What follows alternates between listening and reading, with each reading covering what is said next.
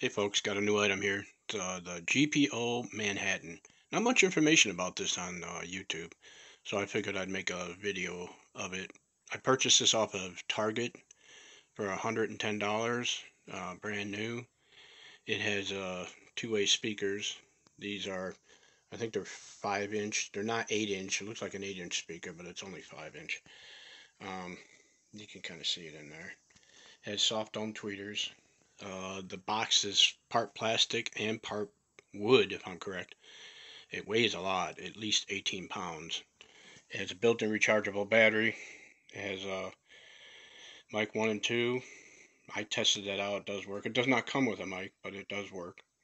It has echo. That works. Uh, USB aux in. Volume, balance, bass, treble.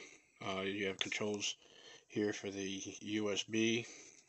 Plus you can change you can turn the LEDs on and off in the front here, or you can change how they look just by uh, pressing this pair button, and it'll give you different looks to it. Um, it's extremely loud, and it sounds really good. Definitely worth the $110 that I paid for it. I'm going to play a little bit of music. You can see uh, the spectrum analyzer in play.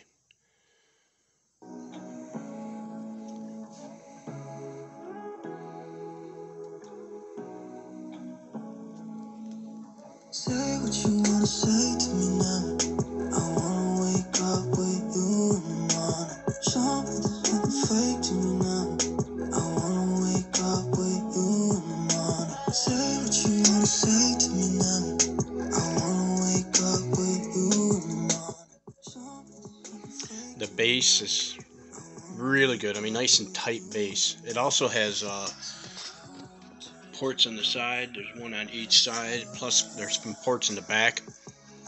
Um, it runs off of a wall wart 18 volt 5 amp so yeah it's got some beef to it this has been fully charged up I haven't had any issues uh, connecting it to Bluetooth I found uh, it right away um, I'm gonna do a full teardown of this and when I do I'll post a video of that or probably add on to the end of this one. Um, there's some other, let's see what else we got. Uh, yeah, you can have it in the middle here. This odd look. Personally, I like the, uh, this one looks pretty awesome.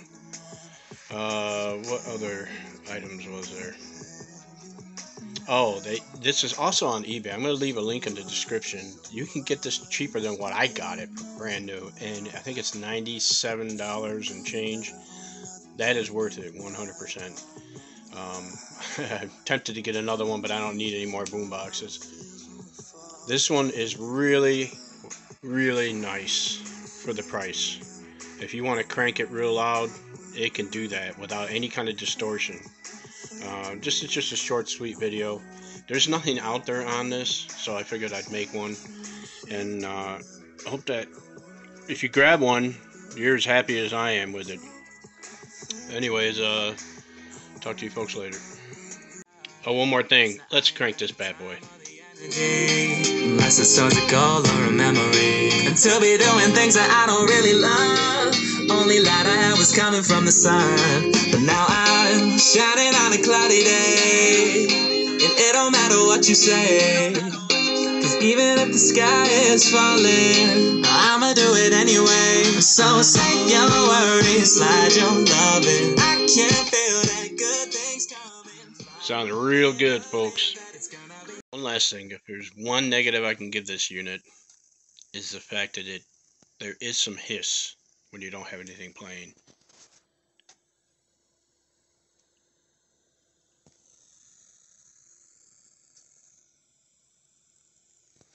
I can hear it. It uh, is not affected by the volume, so it's just inherent to the unit. Anyway, I just wanted to add that last bit. Doesn't deter me from wanting to, you know, give this uh, two thumbs up though. As promised, here's the inside of the uh, GPO Manhattan. Uh, it's actually built quite well. Uh, here's the tweeters.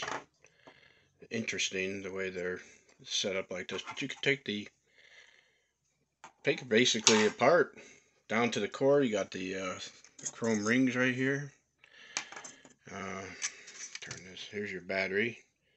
I couldn't quite get the uh, milliamps on it. I'm thinking probably 7,500 milliamps. And of course, this is the unit upside down. I'm going to take these speaker grills out and I'm going to paint them fluorescent yellow. Because why not, right? If you can do it, you can do it. Uh, okay, here's the interesting part. The speakers, the woofers, are actually in their own separate wooden enclosures, which is pretty freaking cool. I've never seen that on a radio where they had separate uh, wooden structures inside the case of the unit.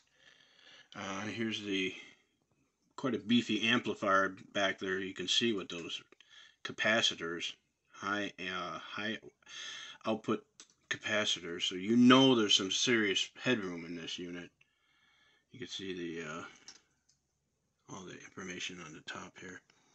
Plus there's a port on the side you can see down there. And I attempted to take one of these woofers out, but they they have a massive magnet on that on it. So my guess is they're actually about four inch woofer, but they can kick pretty hard. And with that ma massive magnet behind it, I'm thinking, yeah, about 40 watts, like I like they say it has.